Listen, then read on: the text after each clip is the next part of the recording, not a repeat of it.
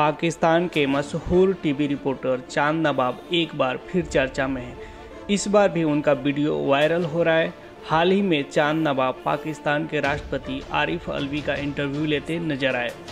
दरअसल, पाकिस्तानी पत्रकार नायला इनायत ने ट्विटर पर यह वीडियो शेयर किया है।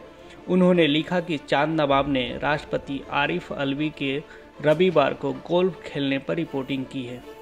राष्ट्रपति ने चाँद नवाब को बधाई दी कि पाकिस्तान तरक्की कर रहा है और सबका दिल लगा हुआ है।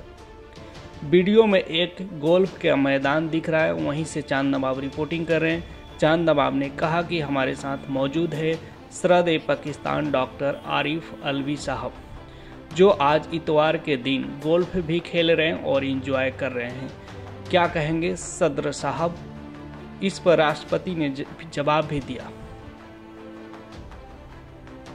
राष्ट्रपति आरिफ अलवी ने कहा, मैं समझता हूँ कि आपको मुबारक हो।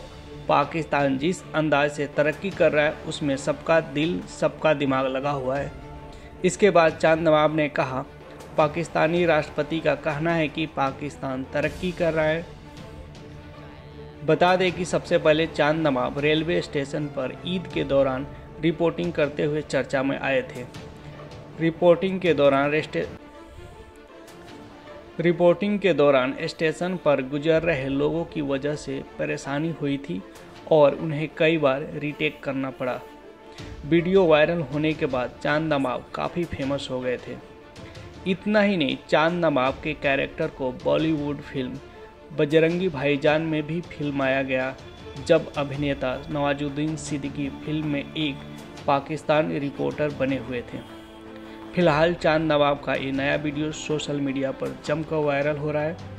सदर पाकिस्तान डॉक्टर आरिफ अलवी साहब जो आज इतवार के दिन गोल्फ भी खेल रहे हैं और एंजॉय कर रहे हैं। क्या सदर साहब बस मैं समझता हूँ कि आपको मुबारक हो।